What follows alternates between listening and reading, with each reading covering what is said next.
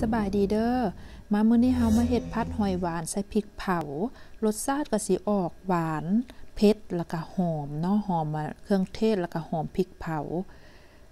มามาเบิ่งส่วนผสมกันเลย ก็จะมีกระเทียม หอมแดง หอมบัวใบ แล้วก็หัวบัวใหญ่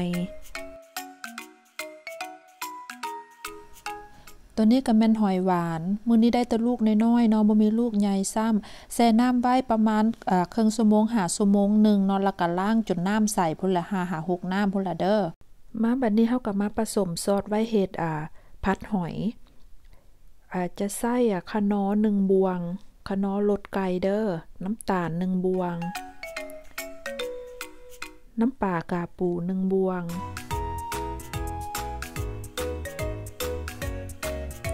ซอสหอยนางรมสองบวงไผ่มากรสชาติแบบใดกระปุงเอาตามที่มากรสเนาะ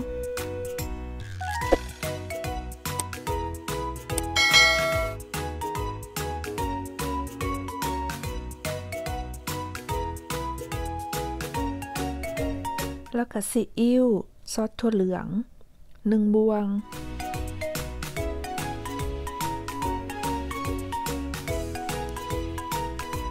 ผสมให้เข้ากัน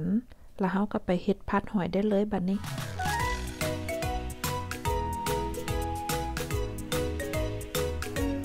ใส่น้ำมันพืช3บวง ใส่ไฟกลาง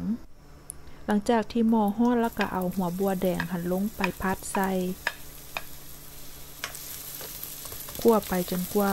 หอมบัวแดงนี่สิอ่อนแล้วก็หอมเนาะ หลังจากนั้นเฮาก็ใส่กระเทียมลงไป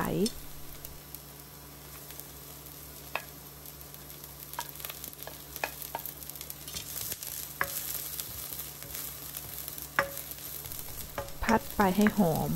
แล้วก็ใส่หมักเพชรแห้ง เพชรแห้งไผ่สิใส่เป็นนวยหรือต่ำก็ได้เนาะ ตัวนี้แม่น้ำพริกเผา ใส่พริกเผาลงไปหนึ่งบวง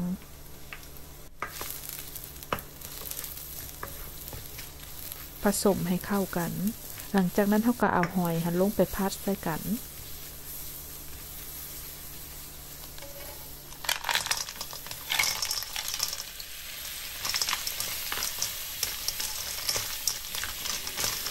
ค้นให้เข้ากันเนาะแล้วก็ใส่ซอสที่เขาอะผสมไว้หั่นลงไปเลย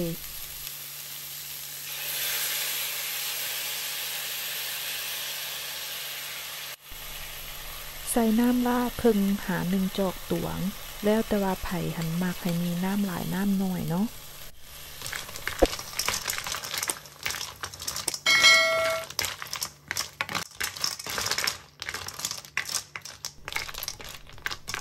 พัดผสมให้เข้ากัน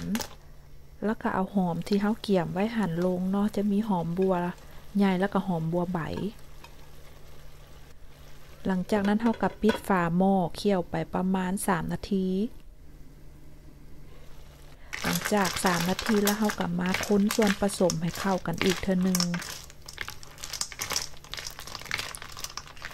แล้วก็สิปิดฝาหม้อไว้อีกแล้วก็เคี่ยวไปอีกอยู่2นาที เพราะว่าถ้าเฮาเคี่ยวโดนหลายหอยเฮาก็สิอ่าแบบว่ามันสุกเกิดแล้วมันสิเหี่ยวหนะมันสิน้อยนะ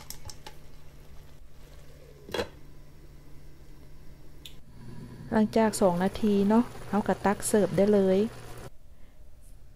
เด้หน้าตาก็จะออกมาแบบนี้เนาะ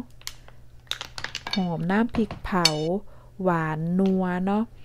อ่ารสชาติไผ่มักแบบใดก็ปรุงเอาตามที่มักเลยเนาะ โอเคลองเห็ดกินบังเด้อคลิปนี้เน่ก็ไปก่อนแล้วพ่อกันใหม่คลิปหน้าบ๊ายบาย